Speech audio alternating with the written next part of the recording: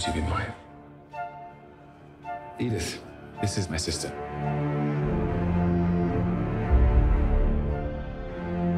I don't think she's the right choice. You have to trust me.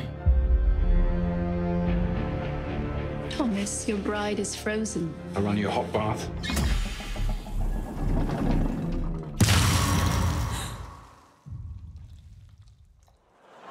Thomas, I think, is a character who's trying to be something he isn't. He's trying to project a personality that he doesn't necessarily have. and early on, we see him when he's dancing with Edith. He's kind of a Jane Austen hero, and later when he's professing his love to her, that's directly paraphrased from Jane Eyre when Rochester is confessing his love to Jane. And I was wondering if you were playing him as a character who was building uh, a facade through the kind of wealth of inspiration he had at, at his disposal at that time. Wow, that's an amazing question. Uh, I, you know, I think there's a part of his charisma which is performed and, and presented, and a part of his charisma which is very genuine. Um, so, for example, I think his enthusiasm about engineering, his enthusiasm about the future is very real. I think his, he actually has a, a uh, innate gift. Um, and, um, and perhaps he's used to people buying what he's selling more easily than they do at the beginning of this film.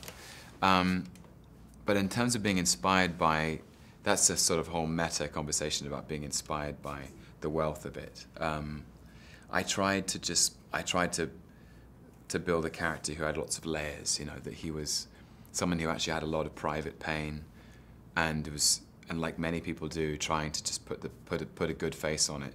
He's so guilty about so much and so you get you get what you what you see is charm.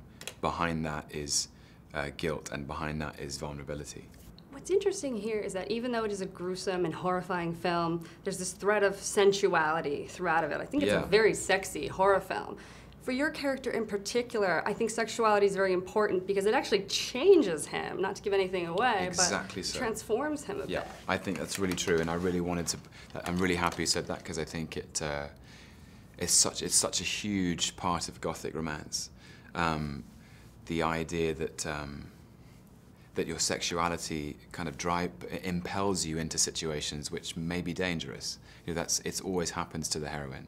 Um, she's drawn um, by the magnetism of a tall, dark stranger, and then often that suddenly she, she's suddenly in, in an insecure place. And I think the inversion is actually that uh, through Edith, Mia Wasikowska's character, Thomas, experiences a healthy sexuality for the very first time, and it changes who he becomes. I also would love to know you have such a strong background in classics. You've Mm. studied classics. Mm. You've done Chekhov. You've done Shakespeare. Yeah. Wondering how all of those experiences come into play for something like this, and just in your work in general. Probably. You know, it's interesting. This felt like this felt like new territory for me, um, because there's a way. Uh, you know, the authors you mentioned, um, or certainly in Greco-Roman drama, there's a very there's very specific archetypes there. Um, although a lot of that is about fate and free will, uh, and in this in this film, this is very much about the, the sort of battle between uh, fate or, or pre something that's predetermined and, and expressing your free will, taking control of your life. Um, and Shakespeare and Chekhov, they they they write dynasties. They obviously deal with them very differently, but you know, some a play like King Lear, um, Cymbeline, uh, Hamlet. Those are those are those are plays. Those are dynastic dramas. Cherry Orchard is also about a family. Uncle Vanya is about a family. Um, and Gothic romance has its own place. It has its own. Uh, it has its own particular flavour and tone, and so this actually felt quite new for me, which I found thrilling.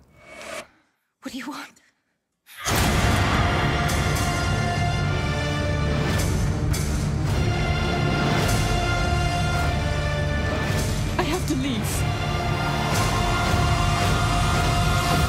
You have nowhere else to go. This is your home now.